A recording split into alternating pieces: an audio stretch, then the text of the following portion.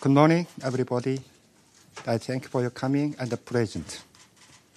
So today, I request this press conference to clarify the principal position of the Democratic People's Republic of Korea with regard to the incident of dispossessing our cargo ship Wise Honest by United States. As it is reported, the last on May 9, United States has committed unlawful and outrageous acts of dispossessing our cargo ship Wise Honest by forcibly taking it to the American Samoa under the pretext of unilateral sanctions and violation of its domestic law. We are condemning in strongest terms this act of dispossessing of our cargo ship because this incident is early product of extreme hostile policy of the United States against DPRK. It is well known that United States has imposed unilateral sanctions against DPRK by issuing executive order and legislating a number of sanction acts, like North Korea Sanction Enforcement Act 2013 and North Korea Sanction and Policy Enhancement Act 2016, etc. However, unilateral sanctions and domestic law, which United States has employed as a legal ground of dispossessing our cargo ship, is clearly illegality and injustice. Because unilateral sanctions and extraterritorial application of national jurisdiction of the third country cannot be justified in any case and in any circumstances under the international law. Actually, until now, just here at the UN headquarters, UN General Assembly adopted so many resolutions denouncing unilateral sanctions and unilateral economic coercive measures as illegal act against the principle enshrined in the UN Charter, especially 2004 UN General Assembly adopted UN Convention on Jurisdictional Immunity of the states and their property. This UN Convention is a very important international public law that all states must adhere in the relation with other countries. According to this UN Convention, any sovereign states and their property cannot be subject the national jurisdiction of the other countries. This UN Convention is also applicable to the peremptory norm and compelling law. The peremptory norm is fundamental principle of the international law that is accepted by international community of the states from which no derogation is permitted.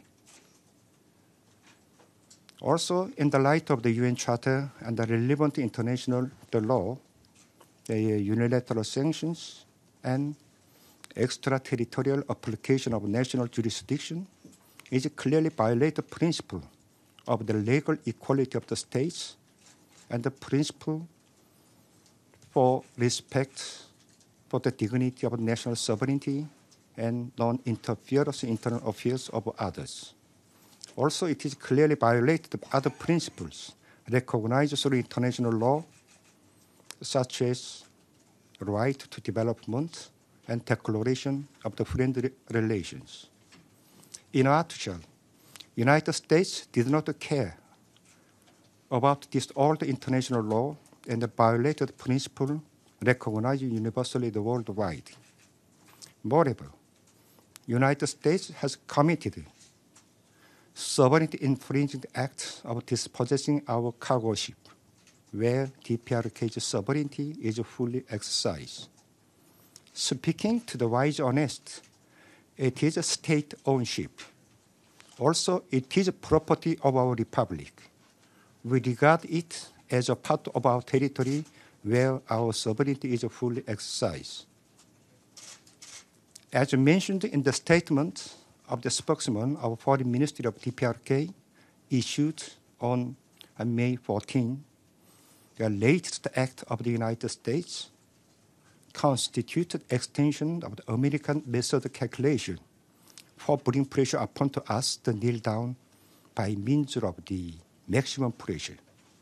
Also, it is outright denial of the underlying spirit of June 12 DPRK USA joint statement, which committed establishing new bilateral relations. Therefore, United States should deliberate and think over the consequence of its outrageous acts might have on the future development.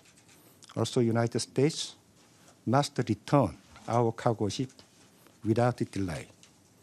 With regard to this issue, uh, last week I sent the letters to the Secretary General in order to inform our principal positions and I request him take, to take the necessary measures as the way of contributing the stability in Korean Peninsula. Also, I request him to circulate my letter as official document of current session of General, General Assembly. So now the, my country carefully watch every move of the United States hereafter. Thank you for your attention. And then, okay. Ambassador, I, can we ask questions? Okay, just a moment. Uh, I'll take a few questions, and then before open this the floor, I'll let you know. I'll, I'll take the question in the package and answer very briefly. Okay, please. James Bays from Al Jazeera. Can you be clear? How will this act, seizing the cargo ship, alter the process that was started with President Trump and Chairman Kim? Because it's a now stalled process. Do they have to give back the cargo ship before there will be more talks? Can you make that clear? And do you expect any progress when President Trump heads to the Korean Peninsula soon? Okay. And then? Yes, please, madam.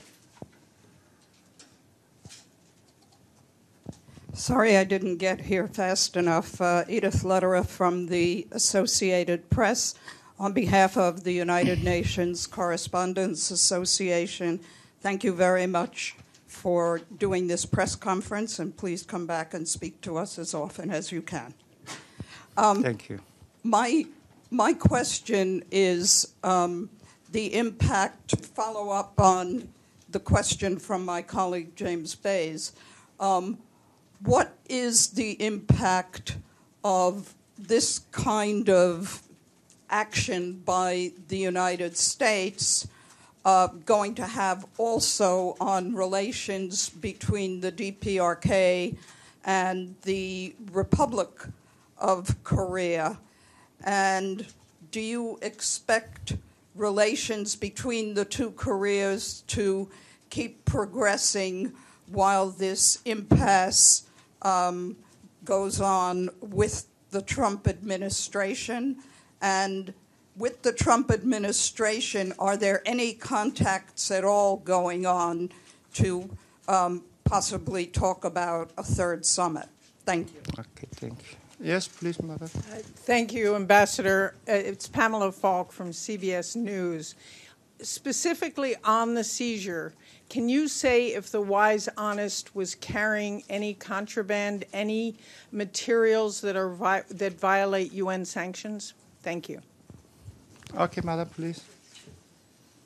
It's Ronda Hauben, and I have a blog at, at netizen blog at Tageszeitung uh, website. My question is: There were three principles in your Singapore, in the in the Singapore summit. Those were to establish newer relations, to build a lasting and stable peace on the Korean Peninsula, and to work toward the complete denuclearization of the Korean Peninsula. This obviously is contrary to all of that, those three principles.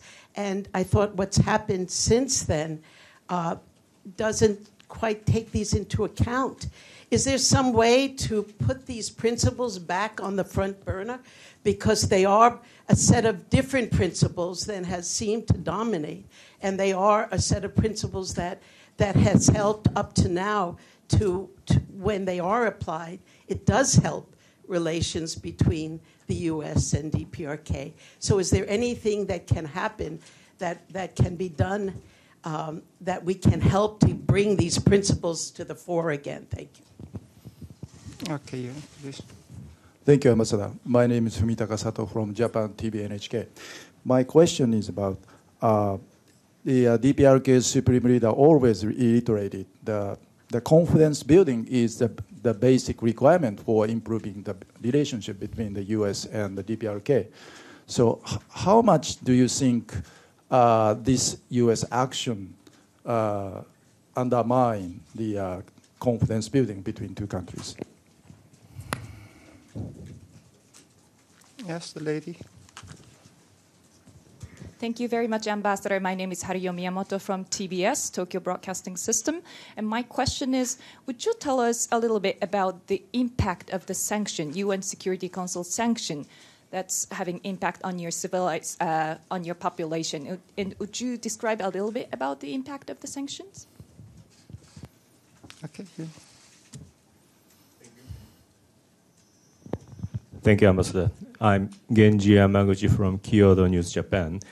Uh, so- and last week's letter, uh, you referred to urgent measures. Um, so, can you elaborate more about what kind of urgent measure do you want? Thank you. And then please. Ambassador, gentlemen. yes, Eric Shawn at Fox News. Does your government have any plans to apologize for the torture and killing of the young American Otto Warmbier? And do you have any statement for the Warmbier family, sir? Will you prosecute those who are responsible for his torture and murder? Is there anything you want to say? Okay, there is any more question? Okay, you please. Yeah, okay, you. Yeah, yeah, yes. 그 하노이 회담 이후에 그 미국 측의 빅딜 제안에 대해서 북한 측의 어떤 입장이나 그런 게 좀 변화된 게 있는지가 궁금하고요. 그리고 미국 측, 저 북한에서 미국 측이 어떻게 태도 변화를 원하시는지 설명하실 게 있으면 말씀 부탁드리겠습니다. Okay, the until now so many questions was raised. So today, the, I organized this press conference to clarify our positions with regard to the incident of the wise honest case. Therefore, uh, among your questions, the some question is directly related to wise honest, and there's some question is the separated issues. So I briefly uh, the answer your questions uh, generally. So uh, this the incident is only man-made incidents with intervention of the United States. Also, the, my country has neither recognized nor accepts sanction resolution of the U.S. Security Council. And then we will sharply watch every move of the United States with regard to these issues. And then what is clear, the outrageous act taken by United States is denial underlying spirit of June 12 DPRK USA joint statement. Everything is dependent on the United States. We'll sharply watch the reaction of the United States. Yeah, thank you. Thank you for your the attention. And then with regard to the another questions, I hope take another chance to have the press conference to explain our position. Thank you for today. Thank you.